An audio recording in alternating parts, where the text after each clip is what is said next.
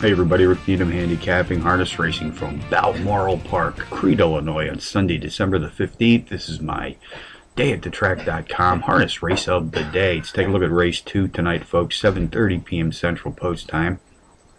Pacers racing for a purse of $5,500. Contenders number 4, Briefs Boy, number 6, R.R. Steven, number 7, Western Deal, and number 1A, Tizza Mojo.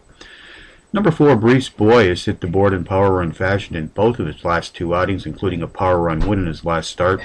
Trainer Frank Mosley sends him to the rolling gate tonight. In the last 12 months, Mosley has recorded an incredible .433 Universal Trainers rating, which is easily the top UTR in this field tonight.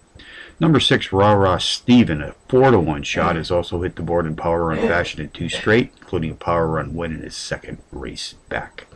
Race 2 summary number 4, Briefs Boy, tops my contenders list tonight here at Balmoral, which also includes number 6, Rah Rah Steven, number 7, Western Deal, and number 1A, Tizza Mojo. That's 4671 in the second from Balmoral Park. Balmoral Long Shots, race 8, number 8, odds on Contango. 9 to 2 in the morning line is at the board in power run fashion in each of her last three starts.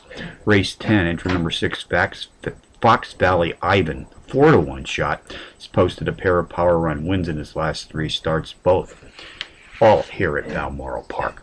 So from Balmoral on a Sunday evening, Rick Needham for dayatthetrack.com, reminding you as always to please bet with your head, not over it.